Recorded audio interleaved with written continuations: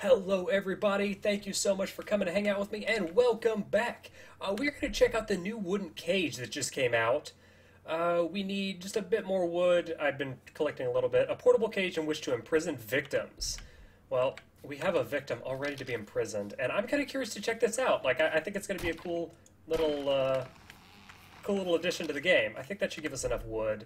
It did. Okay, let's cook this guy up real quick, and we will mess with it. I have a a victim already prepared. This is someone who is who was playing with us, but has unfortunately stopped playing on the server. So we keep this person around for for blood, for to make blood bags and stuff like that. And there, there she is right there.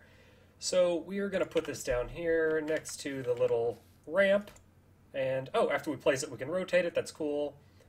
And bloop, we'll put it right down. Okay, nice. I mean, it looks like a very primitive cage. It's, it's pretty cool looking. Let's open this up. Cool. Okay, let's grab this person's poor little body and get them in here. Okay, now they're in the cage. Close the cage. Awesome. Okay, the wooden cage has, oh, 12,000 health? That's more than I expected. Okay, so they're in the cage. That's cool. Can we access them? Yes, we can. Oh, we can access them while the door is closed. So let's use this, get some blood.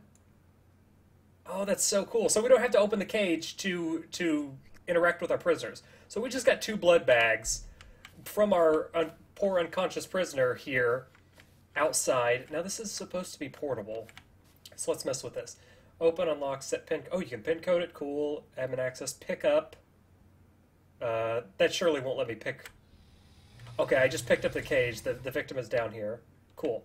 So you could pick up and reuse this one. Let's pull her out of the way and replace this. Let's get it right about here so she's not got grass next to her. Open it up. And let's put her back in so that we can keep her captive. Where'd she go? Oh, she's over there trying to get. oh, those physics! Drop her in through there. I hope that doesn't crush her face. Okay, there we go. We've kept our prisoner safe from other things.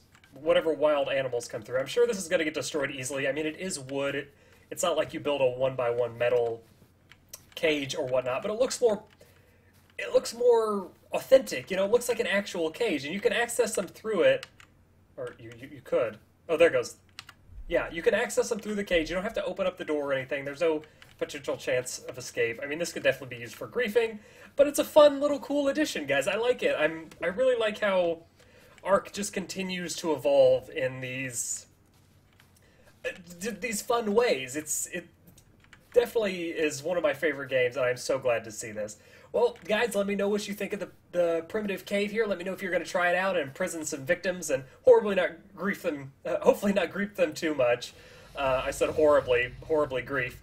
Hopefully not to grief them too much, but I'm very curious to see what you guys think. I hope you enjoyed the video. If you did, please give me a thumbs up. If you haven't done so already, please subscribe to the channel for some more cool videos. And if you wish to play on this server with us, all you have to do is search for Nerd Parade in the unofficial server list, and uh, you can come join us, hang out. I promise I won't imprison you unless you quit the server.